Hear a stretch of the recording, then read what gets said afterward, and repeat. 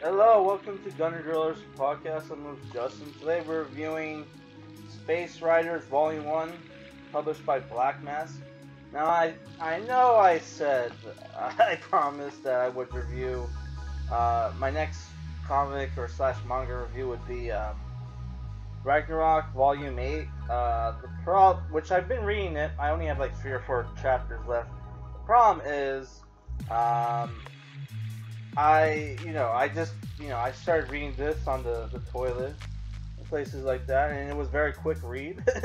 so, not much I can do about that. So, yeah, so it's written, this comic book is uh, created by Alexis Ziritt and Fab, Fabian Rangel Jr.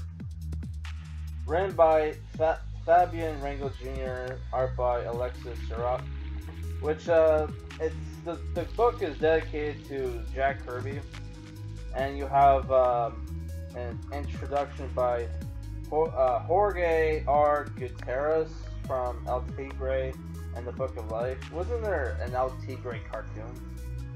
Is that the same thing, or I don't know? So it's like a four chapter graphic novel, and like reading it, it's like it's it reminded me a lot of like Adult Swim like ultraviolet, trippy LSD, DMT vi- uh, visuals, and you know, like shit like uh, Super Jail, um, fuck, Super Jail, American, uh, Ugly Americans, like shit like that, you know. It, and it's like, you know, the art style is a little sloppy, but it look it like the visuals and the like design for all the different um, characters and aliens look super cool. And there's some Jack Kirby-esque like visuals, especially with the space the space bikers called Vikers, which have like these like very old school like Asgardian like Marvel Comics Asgardian like uh, costumes. Which you've ever seen, if you ever seen or read um, old school 4 it's like super trippy with its like visuals which i was supposed to review uh, for serpent of seth which was like a comic book from like the 60s or whatever but it was like yeah old comic book probably wouldn't have gotten much views which you know my comic videos don't get much views at all. So yeah uh, you know it is what it is. So the, the story is basically you have this organization called the what was it called? The Earth. Oh my god, they said somewhere near the end. Uh, the Earth uh, sorry, Interplanetary Space Force, which our main character, Captain Peligro, is uh, is a member of the uh, inter uh, the Earth Interplanetary Space uh, Force or whatever the fuck it was called. I just I just forgot and I just said it out loud. When like he was during a mission where he was fighting a space fleet. Uh, his partner named Hammerhead, who doesn't look like a Hammerhead shark, but uh, he is like shark, uh, but he has like a big, uh, almost box like TV uh, head, which you know he stabs him in the eye while while they're fighting in, a, in a, like a space battle, which their ship it's called the Santa Muerte, which there's a lot of Mexican slash Spanish like themes in here. Or the main character is clearly like I'm assuming he's Mexican, but he look he doesn't look that you know Mexican. He looks more like uh, I would say more Spanish, but you know. But I'm assuming he's Mexican because the ship, which is shaped like a skull, a blue skull, is called the Santa Muerte, which is I think it's a reference to Day of the Dead or whatever, which I don't think they celebrate Day of the Dead in Spain. I think that's only a Mexican thing, but I could be wrong. If you guys know, let me know. I'm I'm Canadian. I don't know, you know, not, and I'm not Mexican, so I wouldn't know uh, these things. So he gets stabbed in the eye. He gets rescued though by other members of the uh, EISF. Sorry, EISF, and oh, I said it right the first time. Uh, yeah, he gets chewed out by his uh, commanding officer, which is like this uh, white tiger uh, guy with a metal jaw who loses one of loses like part of his skull near the end of the, the comic uh, comic book. Spoiler alert. So the, the guy's lost his eye, and then he gets, you know, psychological test by this robot lady called Yara, who is very reminiscent of that robot lady from some famous rock and roll album. I don't I don't remember what it is, but you know, if you, it's it's pretty much the same. I don't remember. It's a it's a famous album. I just don't remember. I don't know if it was Iron Maiden or Metallica, but it's some like rock and roll or heavy metal fucking album. So they, yeah, she says she, he's unfit for for um, duty, so that they uh, suspend him for a year. They then find him at like a bar where he punches out this wolf wolfman and threatens to pull his head out when like you know what his new um, first mate shows up to tell him, hey, you're back on the job. Which his new first mate is um, Mono, which is a baboon man. Who, if you look at, if you you see his backstory, and he he was like some like you know, basically African warlord kind of deal going on. kind of like the Monsieur, um, fuck the the he he was like a Doom Patrol villain. It's like it's kind of the same character. Like he found religion, and his religion is very Freemason esque with, with its like pyramid and like you know third eye, which he constantly says like by the third eye whenever something shocking happens. You know. And all, also the the robot pitch that had him suspended in the first place is also part of his new crew, and they, you know, he get he gets reinstated, but he's told, uh, you know, uh, one like he gets three conditions, you know, or one, you must complete three missions without requesting reinforcements. Two, you must not deviate from you know standard procedure. Lastly, you must not seek out your former first mate who betrayed him. So like no, he's like no problem.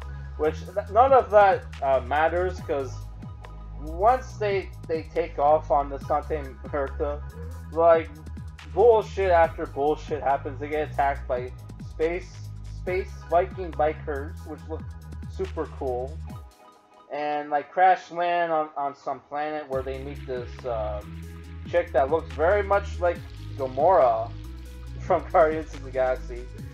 Uh, with her, including the space bikini, and she turns out to be a wizard, fixes their ship for no, for nothing. And like that's when you kind of learn the backstories of our different characters. Um, apparently, like you know, Yara Yara was basically from a planet that's very that was very much like uh, Cybertron, where there was a robot where they were all robots and there was a robot civil war, and then like she fled the planet and became a refugee and found a, a job with the Earth, uh, you know, Space Force or Earth Inter- Interplanetary Space Force. And uh, yeah, after that, it's just like random shit after random shit, where they get they get. Um, also, there's some anti-whaling bullshit in here because they run into a space whale, uh, and like you know, it's like who, like you know, uh, the space whale gets attacked by space whalers and they kill the the space whalers. He's like, some motherfucker will find a way to. Sorry, uh, the line here is no matter how beautiful something is, some motherfucker will find a way to make money from killing it. It's like, Jesus Christ.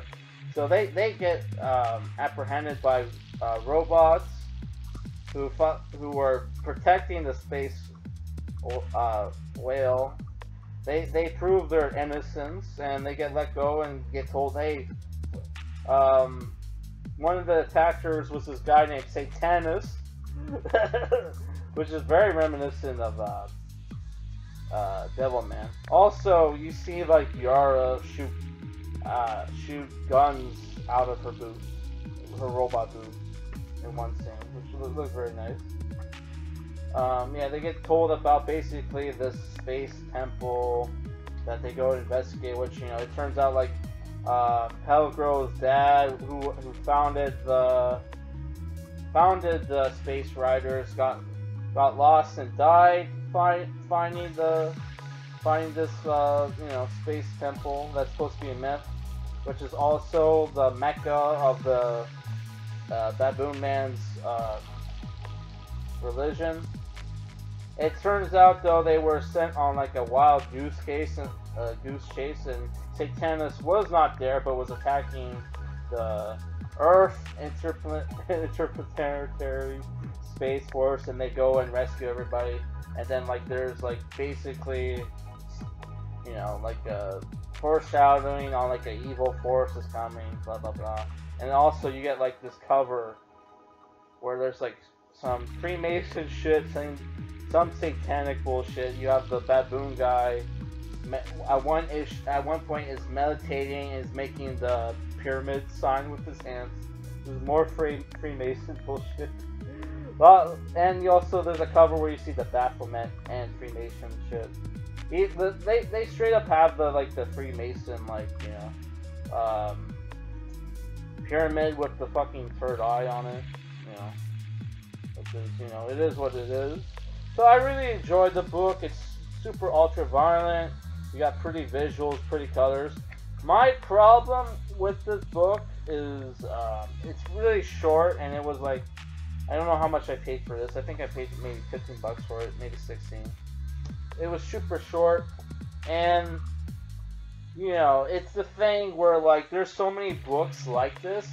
It's like, can I recommend this over something like books like Fear Agent or like you know Grant Morrison, like Grant Morrison's like Green Lantern run, or like anything by Chip Starling, which are based other also like space trippy adventure books. But like what this book has that don't what those books don't have is ultra violence, swearing, and uh, you know the whole Adult Swim like feel to it. So if, if you're a fan of Adult Swim, I think you will you'll love this book. It's it it it, it like just screams out like old school like Adult Swim fans.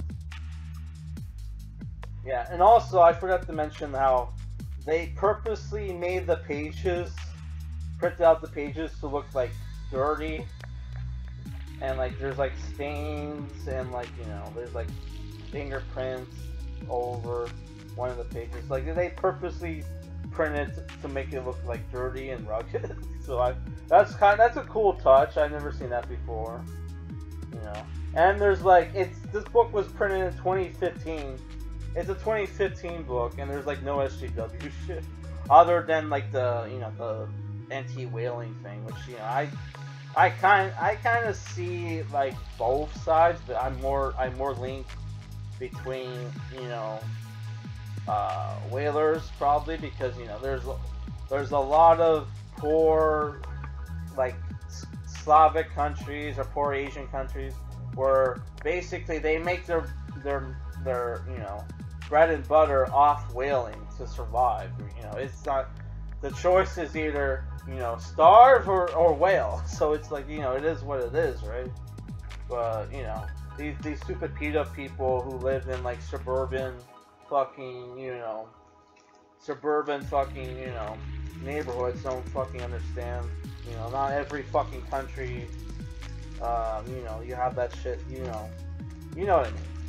Oh, I paid 16 bucks for it. Okay. It's not not bad. I am definitely going to pick up the the second book if it's still if it's still at if they still have it at the comic book store. Which you know, I, I only pick up you know one book at a time because you know I don't know if I'm gonna like it.